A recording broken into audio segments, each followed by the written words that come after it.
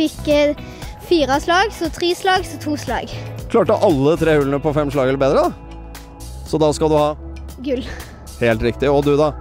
Fire, tre, tre. Er det gøy å spille stjernejakt? Ja. Hvor gøy er det å spille stjernejakt? Ti til ti. Syns du det har vært gøy å spille stjernejakt? Ja. Hvor gøy har det vært? Kjempegøy.